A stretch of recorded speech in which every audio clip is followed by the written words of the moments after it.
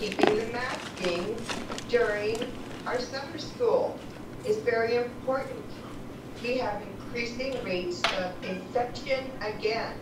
So thank you very much, Superintendent, for keeping that in place.